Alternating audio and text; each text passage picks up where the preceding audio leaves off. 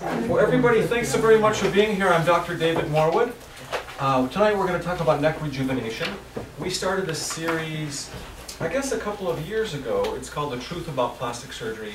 Basically, we started this series to educate people in the beauty industry about uh, what I see as the truth about plastic surgery because there's so many misconceptions on the internet and so many myths. And so we started this series to teach people about what I feel is the truth about plastic surgery, what it can do and what it can't do. And we've expanded it to the public, of course, basically because of popular demand. So I'm delighted to have you here.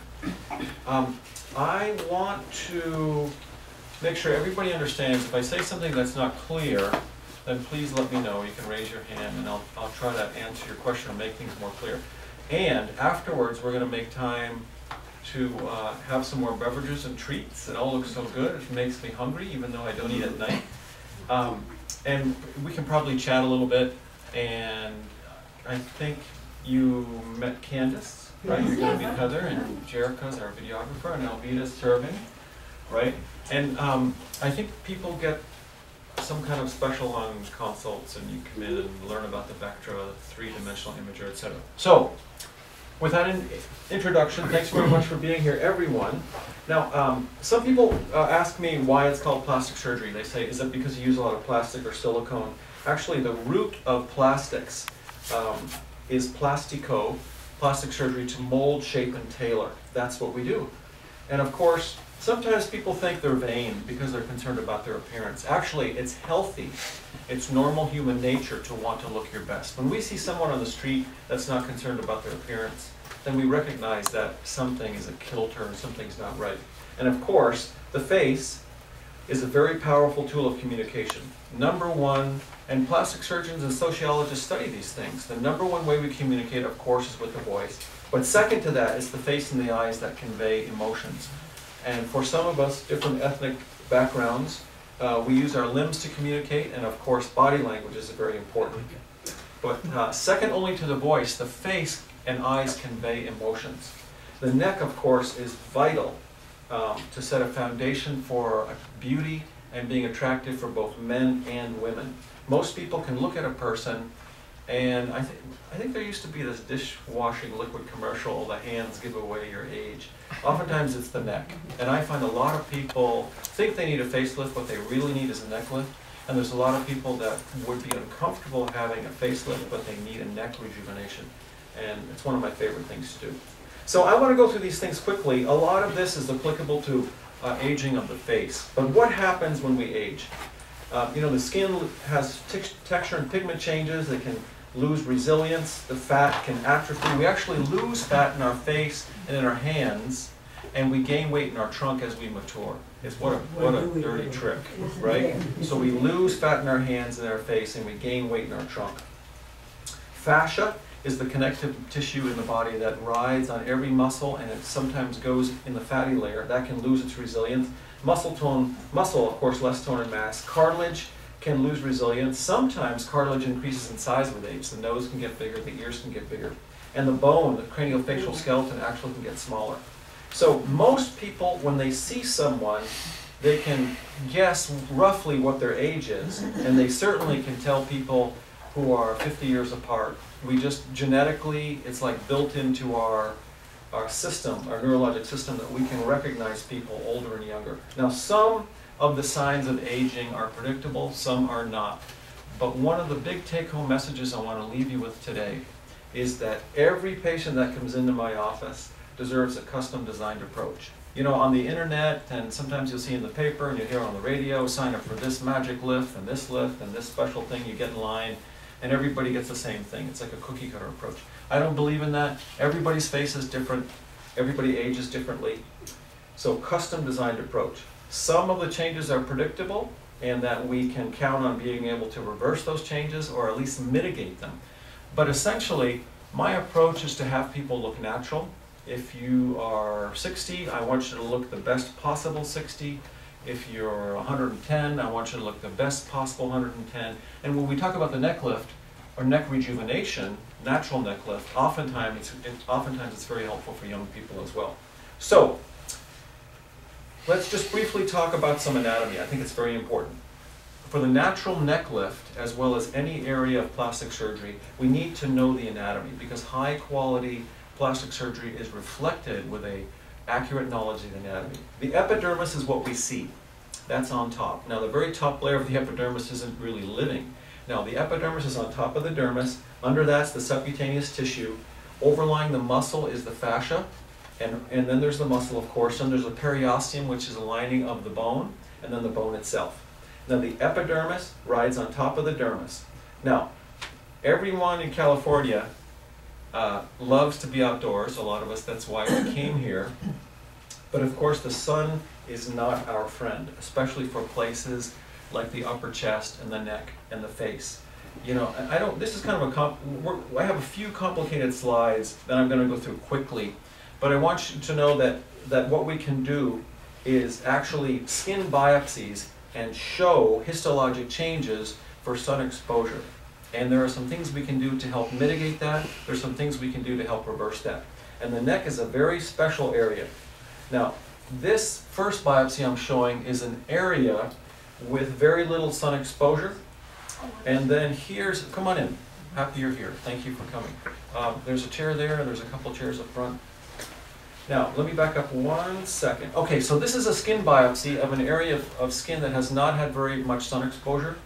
Here's an area that has a lot of sun exposure. Everybody's familiar with that term, liver spot, age spot, sunspot. There's less collagen, less hyaluronic acids, less elastin. So, I'm a big believer in skin care, facials, taking good care of your skin. Everybody knows how important it is to take care of your teeth, right? You see the dentist or the hygienist two, three times a year, and then you get into a home program. I think having an esthetician, getting facials every once in a while is a good idea, and learn how to take care of your skin at home. And there are some essentials, and these are really vital for the, for the thin skin of the neck. So first of all, what can we do? Avoid sun. Everybody loves the sun, but the UV rays are really not our friend. Properly cleanse, exfoliate. I mentioned to you that the very top layer of skin in all of us is not really living. It's like nails and hair. It's not alive. And that keratin layer can get really thick. So we want to start to thin that out and we want to encourage sh rapid shedding of the sun-damaged skin. Now, restoration, we want to encourage the layer where the baby cells are made. We want to turn that factory on. And there are ways that we can do that, encourage more baby cells. What I want you to remember is that it takes, six, uh, it takes 30 days for a new cell from the germinal matrix to get to the top where you can even see it. So sometimes I see people who have tried skincare for a couple weeks and they say, oh doc, you know, I really don't see much difference. Well, you haven't even given the baby cell even one chance, even one cycle to get to the top where you can see it. That's 30 days. So just imagine if you do it for six months, and so you go through go through six cycles. Or what if you, you give yourself 12 months and you go through 12 cycles of regeneration? So I, am a real believer in it. Moisturizing is very important. And uh, second to avoiding smoking, uh, excuse me, avoiding the sun is avoiding smoking. Everybody's heard the word uh, antioxidants, you know, cranberries and pomegranate and things you can take. Antioxidants, well, smoking is a terrible oxidizer. It's like rusting. The microvascular channels and cells almost get rusted. Uh, I'm going to skip that. So a foundation for an attractive face, beautiful face, handsome face, both men and women, is a crisp, clean neck. Now, there are some things we can do even before we get to surgery, of course, and we're big on that. Not everybody needs surgery. Cosmetic, non-invasive treatment. I talked about facials. It's important to take care of your skin. Microdermabrasion, that's we encourage rapid exfoliation. Fruit acid light peels, IP, intense pulse light, IPL. Radio frequency and external ultrasound, I put those in parentheses because I think they're rather experimental. So, I'm going to talk a little bit about Botox and Dysport, fillers, peels, ablative lasers, dermabrasion, and of course sclerotherapy I won't talk much about, but that's injecting veins. Now, what I want to mention again is that the epidermis is on top of the dermis, and collagen is the basic building block, built, basic building protein block in our body. There's collagen in our skin, there's elastin in our skin, there's hyaluronic acids in our skin. If we compare the skin of a young child to a person that's had lots of sun exposure in their 60s, in the, the older person, there's less hyaluronic acids, less elastin, less collagen, more disorderly collagen. So there are things we can do to encourage um, more collagen, hyaluronic acids, and elastin, etc. Retinoic acids, everybody's heard of retin A probably, vitamin C treatments, some CO2 lasers, and some fillers. So I'm not going to spend a lot of time on this, but just um, if you come in and see me or see an esthetician or talk to a dermatologist, there are actually things we can do, as I said, to improve the, the on a cellular layer, improve the health of the skin very much equivalent to taking care of your teeth in a regimen at home and seeing the hygienist and dentist two, two times a year, etc. So, for an example, here's a skin biopsy um, of an area that has had some sun exposure, and this is six months later after proper skin care. You see much thicker, more collagen, less keratin layer, etc. Finer skin. Now, I want to make an emphasis about something. Cosmetic treatments do not remove extra skin or dramatically tighten loose skin. Things that we do like peels, lasers, some facials that we do, fruit acid peels, etc., that takes care of the texture of the skin, but it doesn't dramatically tighten loose skin or remove extra skin. Now that's important to emphasize. Now, I'm going to show another slide where the converse is just as true. That the plastic surgeon cannot operate away wrinkles. So when I see someone in the office, we need to look at three essential parameters. We look we need to look at volume. Remember I said that we lose volume in the face, we lose fat in the face. We need to look at the skin and then we look we need we need to look at the amount of skin and where it is and if it needs lifting or firming or repositioning. So there's three separate factors that we need to look at, and we cannot really interchange those things. Some people I see in the office only need volume restoration, and we talk about that. Some people only need skin treatment. Other people just need surgery or soft tissue repositioning. So custom designed approach. I think that's vital, very important. Now, I'm not, certainly I'm not denigrating those treatments like lasers and chemical peels. In fact, I want to show you an example. A friend of mine lent this to me, this slide. Um, if you compare before and after, fine lines are lessened, pigment changes are lessened, the texture of the skin is improved, but there has not been an improvement in the amount of the skin and, and it has not tightened loose skin. So that's a laser. Now I want to try to emphasize and teach about this. Most people are familiar with bacon, right? It's moist, supple, you can almost tie it in a knot. Now if you heat it, 100% we know that the protein shrinks, but at the same time it becomes brittle. You could break it, right? And what we're trying, what we are trying to do when I talked about the skin, we want supple, hydrated, smooth, soft, really supple skin. So we've got to be very careful when we heat the skin, expecting that a laser could do the same thing that a facelift can do. So custom designed approach. Now this slide I show um, the reason I show this is because when the only tool you own is a hammer, the whole world looks like a nail. Of course. So, what we need to do is design a custom approach for everybody who comes in. I meet with everybody, you meet with my staff, we like to do the Vectra. That's the six camera computer photo imager. If everybody has time tonight, take a look. It's, a, it's an amazing piece of technology uh, the six cameras and it feeds your data, your image into the computer and we can sit there with you and manipulate it and it's three dimensions we can turn you around and you can look at different parts of your body, your neck, your, your eyes, So It's very helpful as a communication tool and we can also do some sculpting and give you an idea what different procedures can do. Now, this is an important slide because we're talking about natural neck lift tonight and neck rejuvenation. The skin of the neck is delicate and has far fewer pilosebaceous appendages than does the face. Well, what do I mean by pilosebaceous appendages? Less sweat glands, less oil glands, less hair, right? Though when we refinish the skin with laser or some peels, we rely upon those appendages to help resurface. The, the neck has to be treated very delicately. The neck and the upper chest, some women call that the décolletage, right? We need to be very careful. Um, I can be a little more aggressive on the face than I can on the neck, when I'm treating the skin. Um, the thicker parts of the face I can be quite aggressive for. For example, around the mouth for the fine lines, the forehead I can be aggressive on. Eyelid skin I'm very careful, very delicate with. very delicate and judicious with the skin of the neck. That's something that I want you to know. Now, I talked a little bit about laser. One of the things that I like is a TCA peel. It has similar effects. I, I feel like I can control it a lot.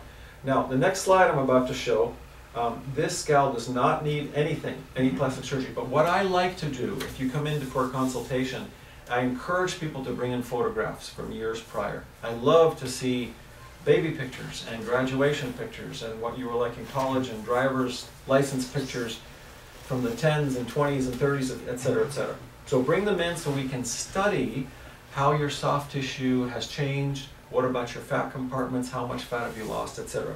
So this is a gal, uh, I think this was her college graduation picture, and here she is, eyes blocked out, of course, about 50 years later. So what I did for her, and, and look at her neck. What I did for her is some soft tissue firming and repositioning, and we helped resurface her skin, and we helped her with some volume. Now please keep in mind, I talk about three, think of the triangle, or think of a pyramid, right? Three important parameters, volume, the skin, and soft tissue position and soft tissue volume, okay? So here she is, um, before the surgery. Now look at, you can look at the whole face, but you can look at her neck because we're talking about the natural neck lift.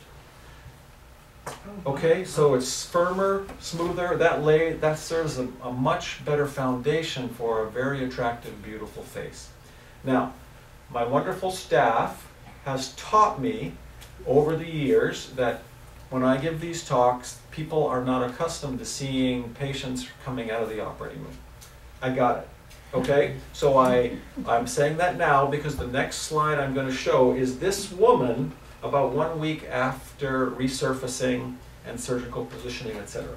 Okay, so as I said, yeah, see, yeah, I, after the oohs and the Yeah, ahs, then. I get the groans, right? Okay, predictable. So remember I said I can be a little more aggressive around the mouth, that's thi- uh, that really thick skin, and very easy, very delicate around the eyelid, or s- I black out her eyelids, she asked us to. Oh, by the way, all these patients are mine.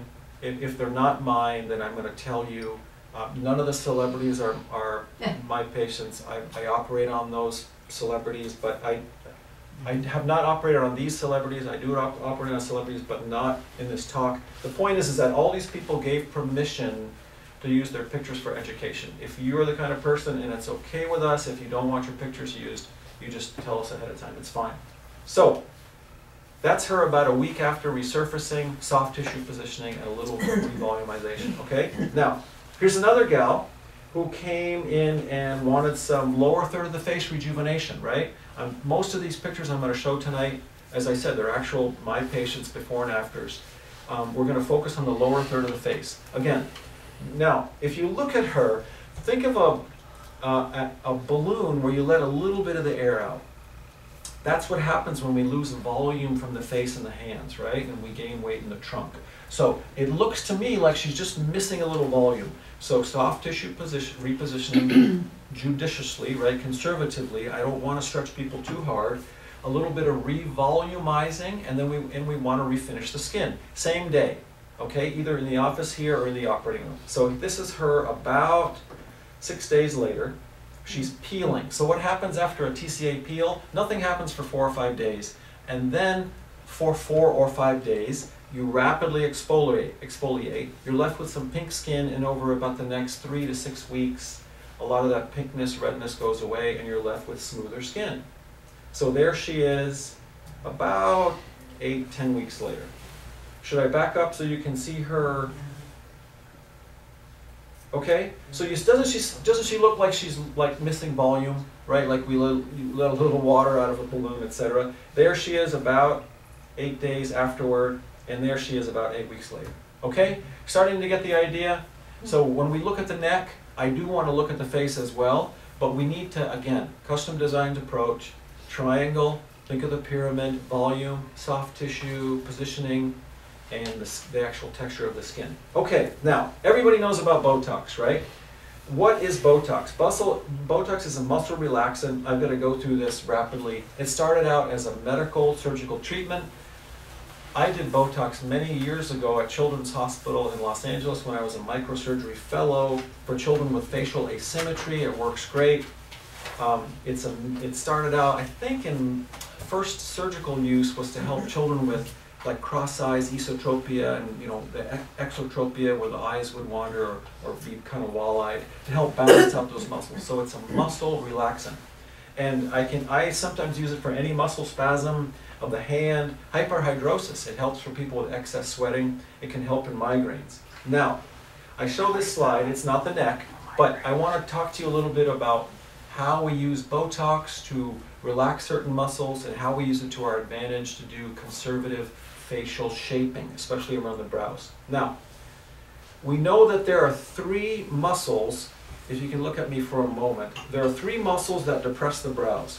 The orbicularis oculi, the corrugator, and the procerus, right? So those three muscles depress the brows. There's one major elevator of the brow, that's the frontalis muscle. So if we use Botox and we use our knowledge of the anatomy to selectively have the depressors relax and selectively let some of the elevators take over, we can conservatively shape the brows and give a little bit of a lift and get the so-called 1s and 11s and 111s to relax in the glabella here. The glabella is this place in between the eyebrows, okay, at the root of the nose. That's the glabella.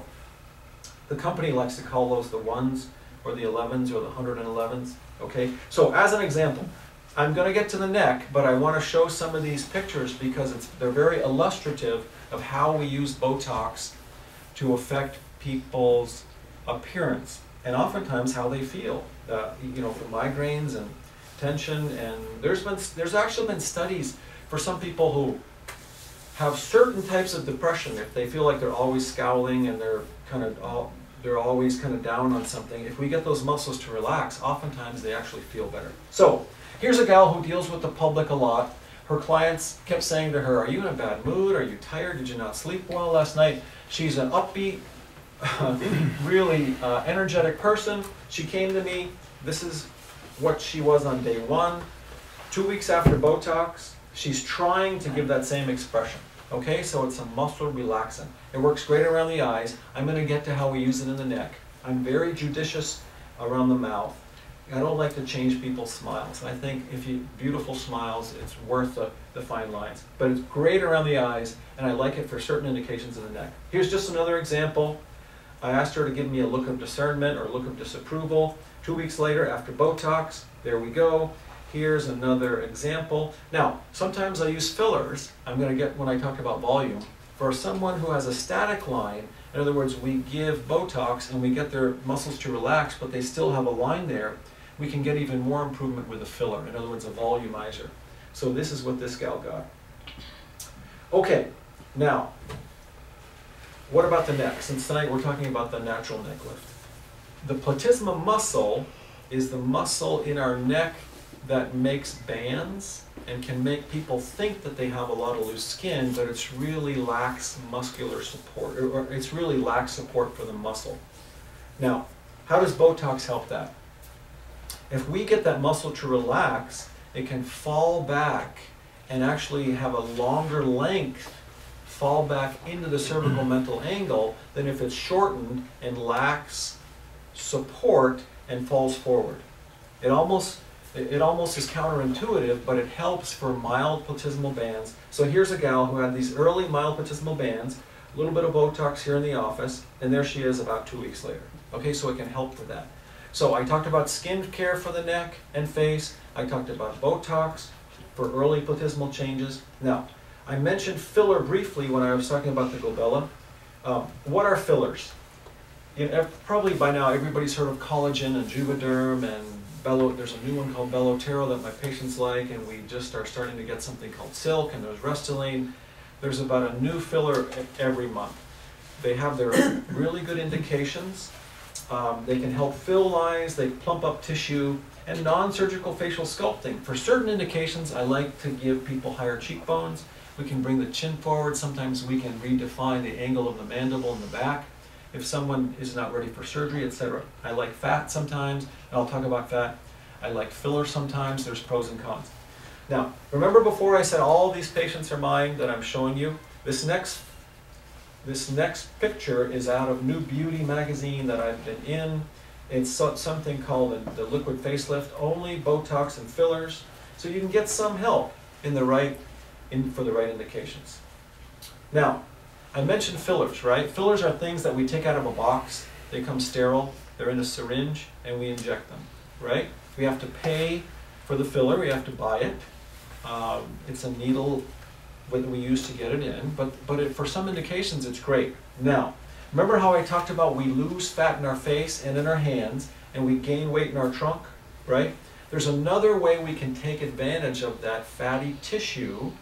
We can do conservative liposuction of an area that has not had a lot of sun exposure, like the tummy or the flanks, right, the outer hips. Conservative amount of liposuction. We can decant it or centrifuge it.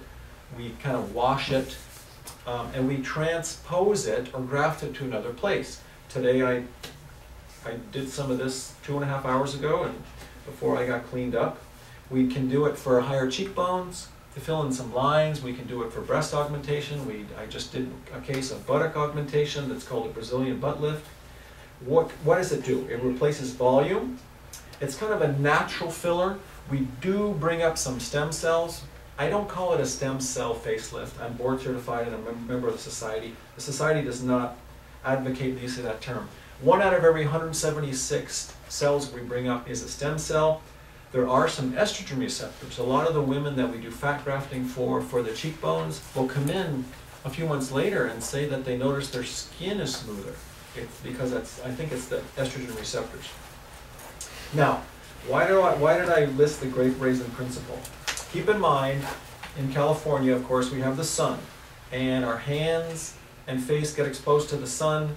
We lose fat in our face and our hands. We gain weight in our trunk. Well, think of the succulent, very hydrated grape out in the sun for a while, and it becomes the raisin. So, perhaps I don't like to use the word the, the old the old style, maybe the traditional style of facelifting where we make incisions and pull really hard. We pull so hard that the wrinkles come out, and then we cut off the extra skin and sew it quickly before the skin kind of springs back. Sometimes that gave people kind of a flattened appearance. What I like to do is rehydrate the raisin, refill the raisin, revolumize. What I, I call that a volumetric facial rejuvenation in, or neck lift instead of just a facelift what we want to do, you've heard this before, custom designed approach, the triangle, volume, soft tissue positioning, and skin, right? So instead of, think of that raisin, instead of pulling that skin so tight that all the wrinkles come off and then, and then we sew it up, why don't we rehydrate and revolumize and, and become more like a grape, okay? So I'm going to show you some examples, focus, focusing on rejuvenation of the lower third of the face. Okay, so here's a gal um, who has nice skin, How old is she? roughly 55.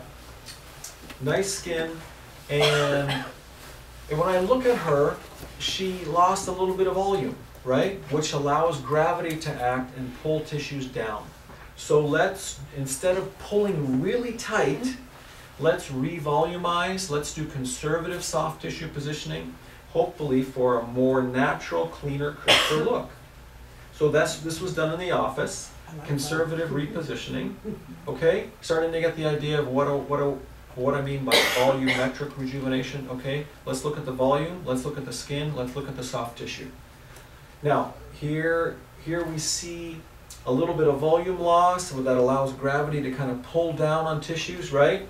Let's revolumize conservative soft tissue positioning, okay, to rejuvenate the lower third of the face. Starting to get the idea, volumetric rejuvenation of the face and neck. So Yes. this isn't cut and stitch, this is inject, inject. Oh, oh, okay, see, that's a great question. It's a combination Oh, of revolumization and soft tissue repositioning.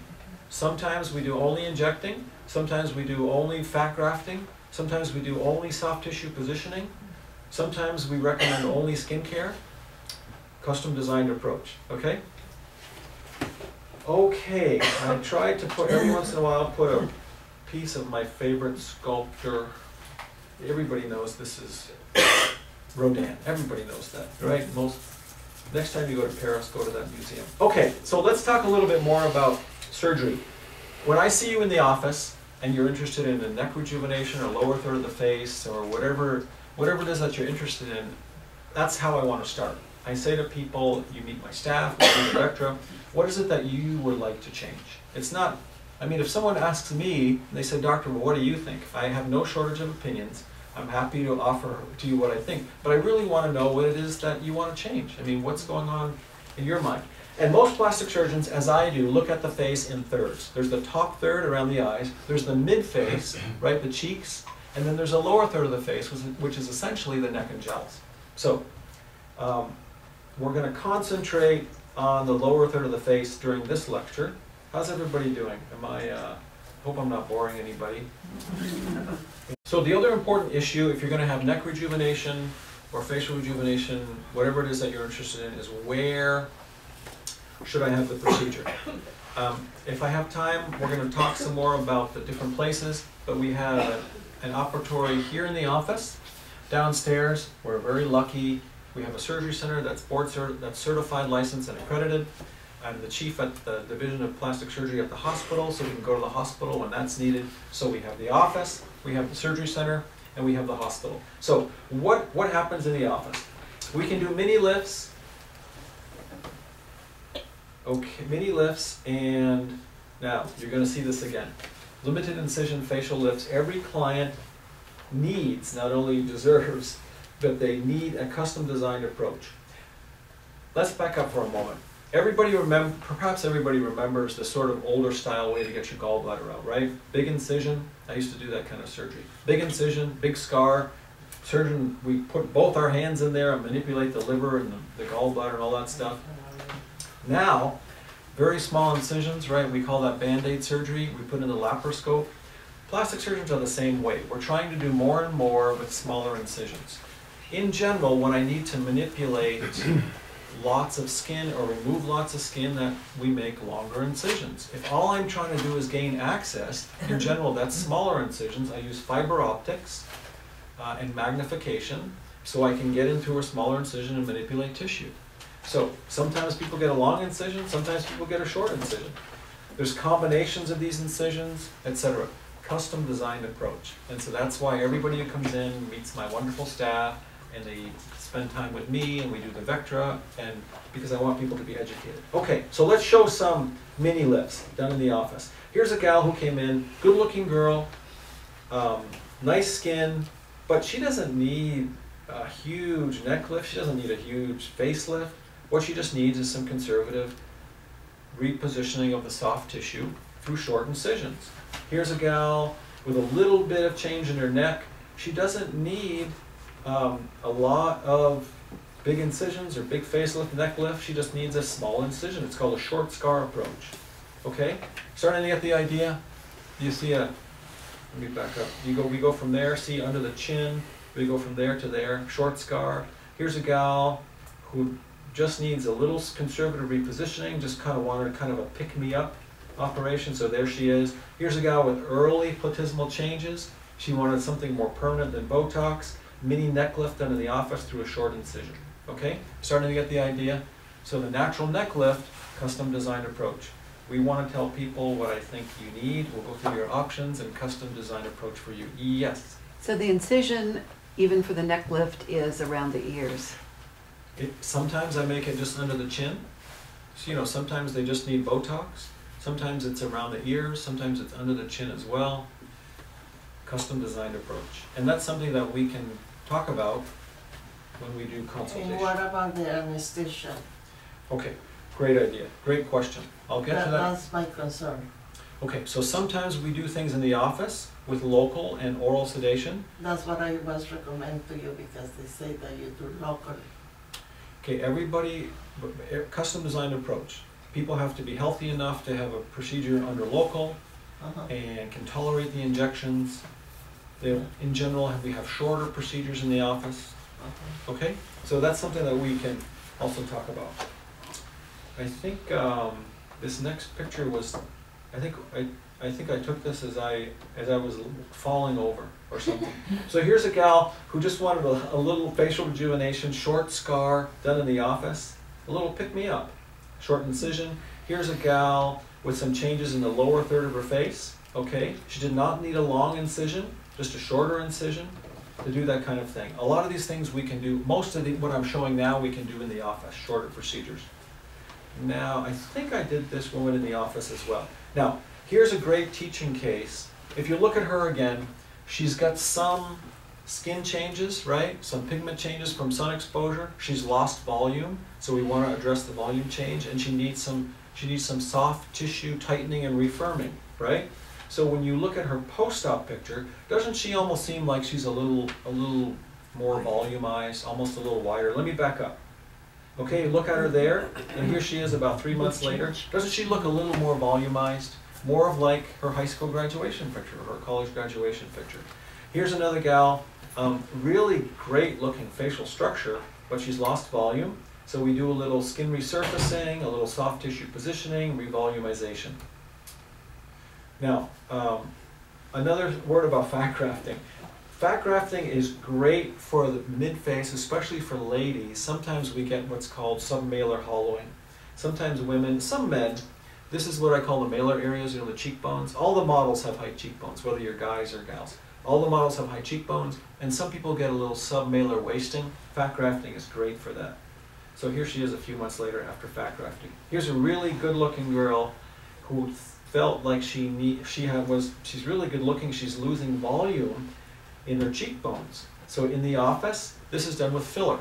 Somebody asked me about the difference between filler and fat grafting. So filler comes in the syringe. It's sterile, right? We inject it with a needle. Fat grafting, we do a little conservative liposuction, decant the fat or spin it down and re-inject it. So there she is. Now look at her cheekbones, right? Look at the malar areas, and look at her. Look at her after some um, filler. So there's pros and cons.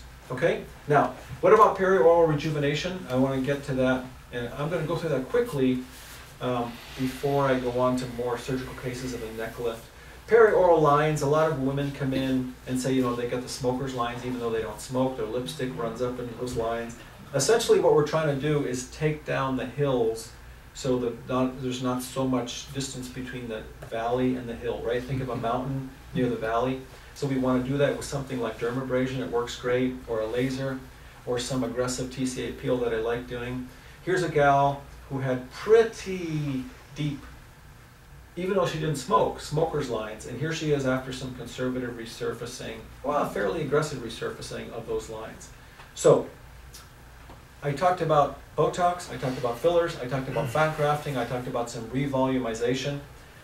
I want to talk a little bit more about the natural neck lift. What is the natural neck lift? It's a system of careful analysis evaluating appearance, anatomy, and goals with a custom designed approach, okay?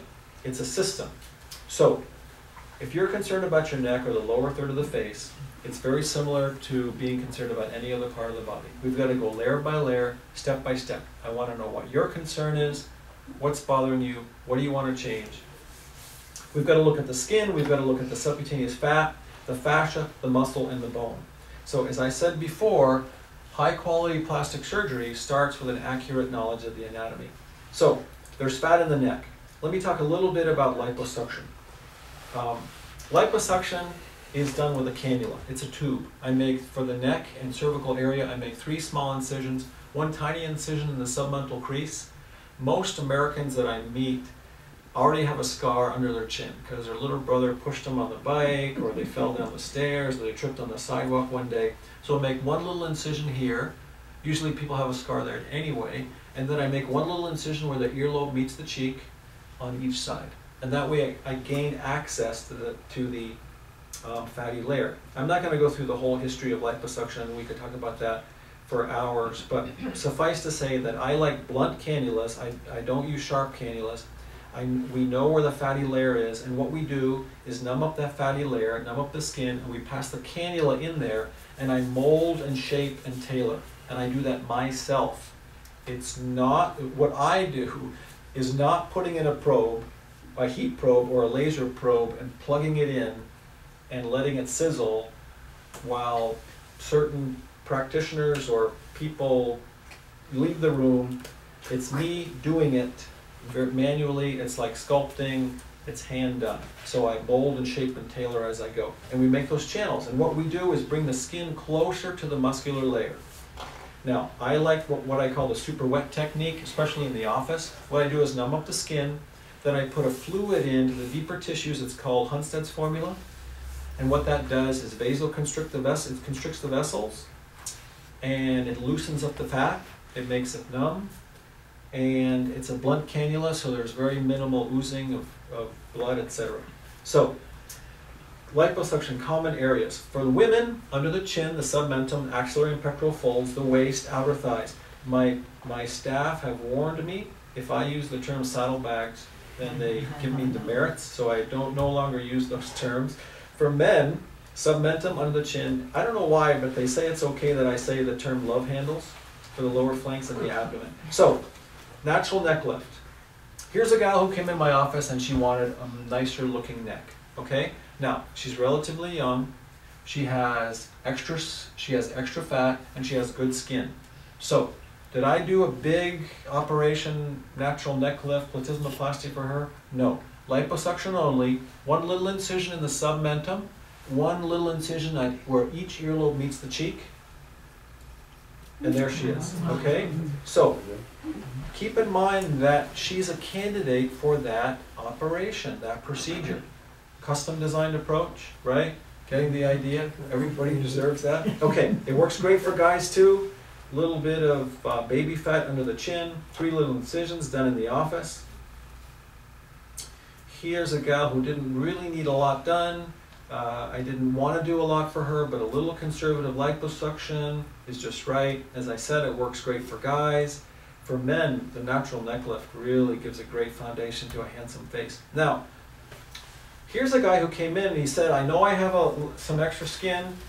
Uh, I don't want a big operation. Just try liposuction, see what helps, see, see, see what happens. So we did that for him. He knew it. He has a little extra skin afterward, but he got some improvement. So the question is, will sometimes people ask, will liposuction work for me?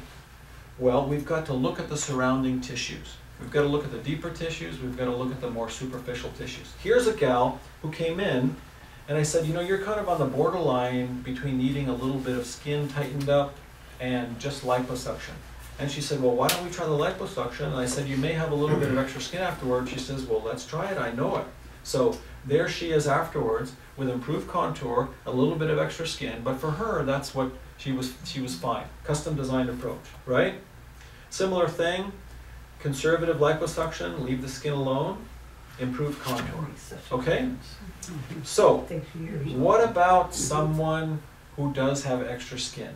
If I were to do just liposuction on that person, they're going to be left with maybe even more extra skin, right? Because we're taking away volume. So we've got to design, properly design a custom approach, right? So, and there's all kinds of different approaches. Usually there, if it's the neck only, I go behind the ears. So, remember I told you that I encourage people to bring in photos? So here's a gal, I think she was just graduating from nursing school. Here she is about 50 years later, quite a bit of sun damage. Now, the point I'm making is, again, my patient, if I had offered her just liposuction, she would have liked, there was a high probability she would go into the unsatisfied category, and we like as close as we can to 100% delighted patients, right? So she got some skin tightening and repositioning and excision, okay? That's not liposuction. Now, here's a gal with a really good looking foundation for her, excuse me, for her face. Yes, I removed a little bit of fat, but she needed some skin tightening as well. So we go from there to there. Okay, starting to get the idea? A little bit of skin tightening, skin excision, repositioning. Here's a gal who would probably not have been satisfied with just liposuction, so we do a mini incision and tailor the skin. Here's a gal who has a little bit of extra fat. Uh, I did not take this picture, her husband took this picture, and you can see it's not really medically set up. A little bit of extra skin, I took out a little bit of fat, repositioned her skin, helped tighten it, smoothed out her skin. Okay, starting to get the idea. Now, similar, here's a gal who lost some volume, so I helped re-volumize her and repositioned and took away some of the skin. Okay? Starting to get the idea? You saw some cases of the boat, you saw a couple cases of Botox only, skin resurfacing only, uh, liposuction only, liposuction in combination with skin tightening. right? Custom designed approach, starting to get the idea? So, this picture, I show, who rides horses here? Anybody? Ah, yes. Do you know what the platysma muscle does in the horse? So the platysma, this is fast, I love anatomy. Um, the platysma muscle in the horse, just like us, starts at the jaw. The platysma muscle in our species starts at the jaw, but it stops at the clavicles. It has no function in us. It's like vestigial. It's like the appendix. So it has no function other than to give plastic surgeons work. But, but in the horse, it runs three quarters of the way down the body and it lets the horse shiver. So it shivers off the flies. And you realize that that sound effect is going to appear, or since it's, you're going to get that. Oh, Jerica, I hope you got that on it. Okay, so now we talked about the skin, we talked about Botox, we talked about resurfacing, we talked about the fatty layer. One layer deeper. What happens if that platysma muscle is dramatically lax? Then if I affect the fat only or if I affect the skin only, it's not probably not going to be enough. So these people get a platysma plasty. Somebody asked a question about where I make the incisions. If there's lots of laxity in the platysma muscle, I make a little incision in the crease. If there's not so much, I come from the side, usually from behind the ears, and I can firm up the muscle. What we like to have is a hammock, right? We use that muscle as a hammock to support the deeper tissues to give a prettier. We, we have this uh, uh, phrase in plastic surgery cervicomental angle. It's the angle of the neck, right? For both men and women, we like that to be crisp and clean. Okay, so a platysmoplasty. Remember uh, the Greek word plasty, mold, shape, tailor, reshaping the platysma? Okay, let's show some examples of that. This gal does not have a lot of extra skin, but her platysma muscle is loose. What does she get? Platysmoplasty. This woman has some extra skin, but her platysma is dramatically loose. She gets a little bit of skin tightening and excision and a platysmoplasty. Okay? Mm-hmm. Starting to see the difference? Mm-hmm. Or starting to get the idea? What we need to do was it Willie Sutton? Somebody said, "Why do you rob banks?" He goes, "That's where the money is. That, Yeah. What we want to do is aim our therapy to what is needed, right? We want to hit the ball where the fielders are not, so we make home runs and get around the bases. Okay, so here's a gal with some extra skin, not much laxity in the platysma muscle, so I came from the side, right? Natural neck rejuvenation. Okay, so here's a gal who brought in a picture of her some years prior. Here she is about 40 years later. She doesn't need revolumization, but what she needs is her platysma firmed up, a little bit of skin excised. Okay, and that was done in the office. Um, I don't want to bore people, but I hope you're getting the idea, right? Platysmoplasty for people who are uh, who have lax platysma, etc. Now, this is a good teaching case. Here's a gal. If you look at her, the lower third of her face again, doesn't she look like she's lost volume? Right? Remember the concept of letting a little bit of air out of a balloon? So, what do we do for her? Conservative surgery, revolumization, in other words, in order to do a natural neck lift. Okay? Let's back up. Let me back up. If you see like her jowls and the tissue under her chin, okay, firmer, crisper, cleaner neckline, jawline, chin line. Okay, I don't want to wear anybody out. Every customer deserves a custom designed approach. Um, similar thing, this gal was done in the office. She's got some prominent jowls, so we need to address those. Uh, firm up her neck. Okay, this gal brought in this picture of when she was modeling, and here she is with a little, not much needed, a little conservative liposuction, etc. Okay, somebody asked me about incisions. What's the direct direct neck lift? Every once in a while, I have someone come in who's had some thyroid operations or tracheotomy at one time, and they say, "I don't mind the scar under the chin. I don't want a big operation. I just some, I want something done in the office." A direct neck lift is when I just take out that extra skin right there, and they already have a scar, or they don't mind a scar, or they don't mind telling their friends, or they had a thyroid operation or something. So a direct neck lift can be done uh, in the office or at the surgery center, etc. Um, okay, and here's another example of a direct neck lift. I try to put the incision in the scar just under the chin. Certainly results in less loose skin of the neck. Okay, so I'm going to talk a little bit about incision, how's everybody doing? Like ten more minutes, okay? Is that all right? Anybody getting hungry besides me or thirsty? Okay, so I talked about short incisions, I talked about incisions under the chin, around the ear, short incisions around the ears.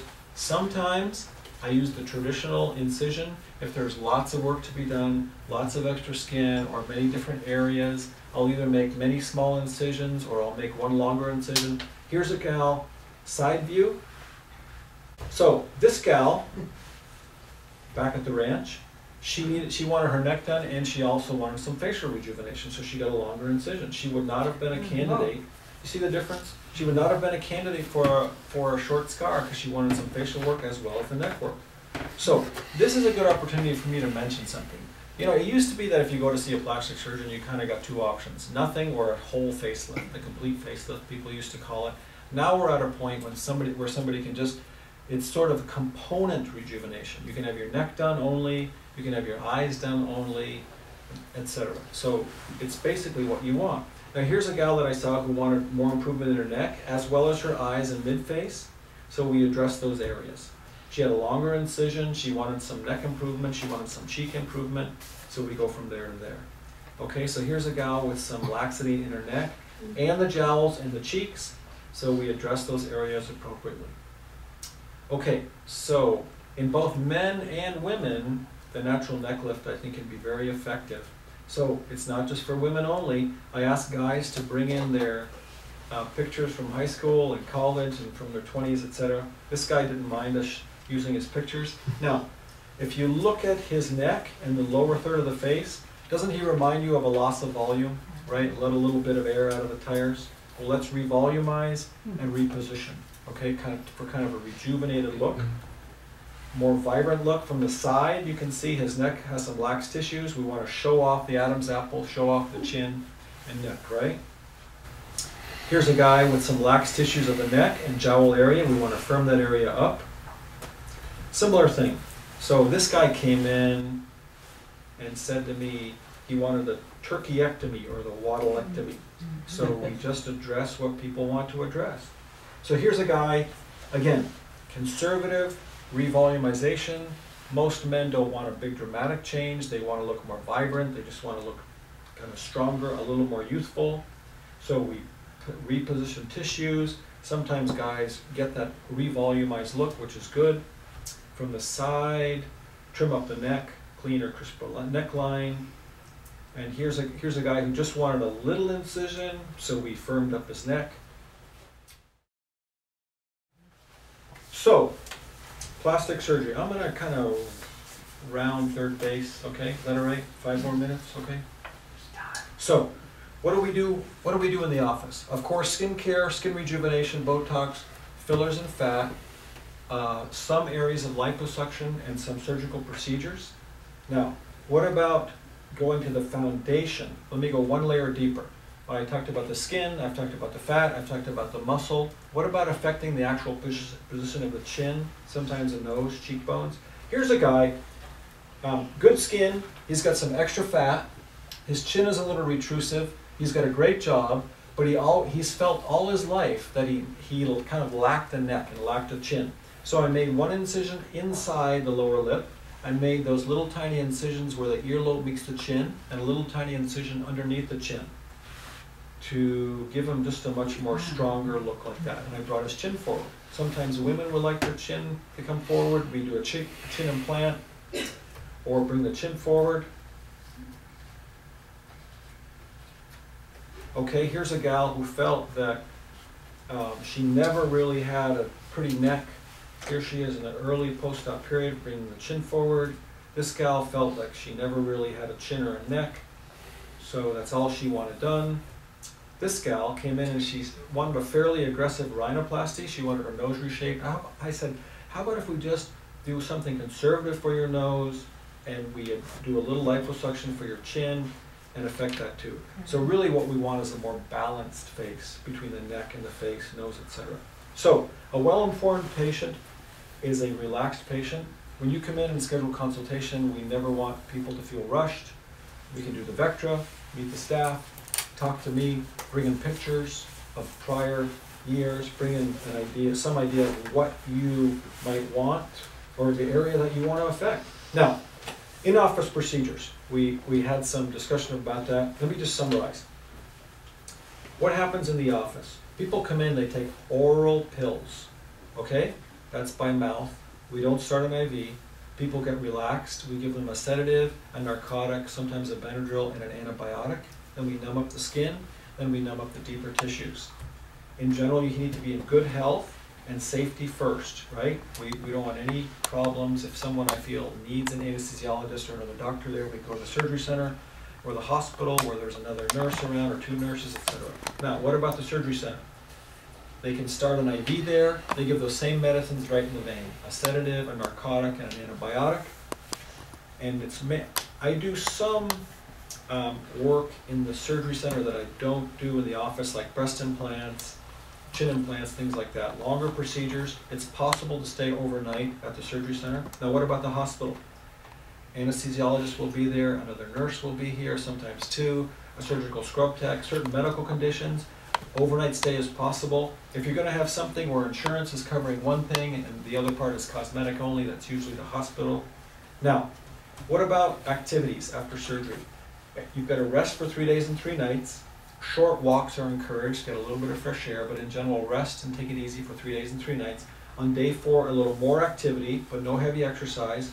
On day 11, slowly return to your regular activities. Now, one of the things that I want everybody to know nothing in life is risk free. It's possible to have problems, complications, and that's part of the reason why we follow people so closely afterward, and that's why we encourage you to comply with the resting protocol, etc. Hematomas, that's bleeding, bad scars, tissue loss, infection, wound dehiscences, the incisions coming apart, nerve problems, uneven result. I guarantee that no result will be perfect. So every result is imperfect, possible need or desire for further surgery. And of course, there are many factors influencing your result, the treatment operation selected, your inherent healing ability. I tell people I can make the incision, but the patient makes the scar. I can't make the scar for you. Compliance, you've got to pay attention and follow the resting period, surgeon skill, your preoperative appearance and condition is probably the single most important factor influencing your result. So, it's important. What are your goals, aesthetic concerns, how much time off can you take, can you tolerate risk, what is your existing condition and appearance, and what about cost factors? So all of these things we take into account. We never want people to feel rushed. Come in and get a custom designed approach. We're gonna round third base. Part of what I love to do is the rejuvenation of the lower third of the face, right? The jowls, the neck.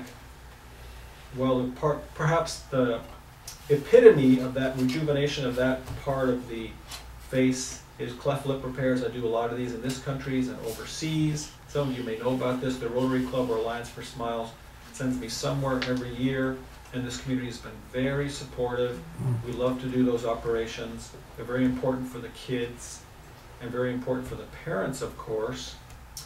And I consider it probably the epitome of lower third plastic and recon, lower third of the face plastic and reconstructive surgery. And many of you know about that, and I'm very grateful for the support the community's given. It's called Rotaplast or Alliance for Smiles. Here's a guy who came into our clinic in Colombia, 60 years old, before and after. And uh, I don't think we have time to talk about this part, but at this point, I'm going to say thank you very much for your attention. We've got treats and snacks. So, Jerica, thank you so much. Avita, thank you so much. I want everybody to meet Candace, and everybody to meet Heather. And uh, if you have time, chat, have a drink, some treats, look at the Vectra, sign up for a consultation. Thanks very much for coming. Thank you. Thank you.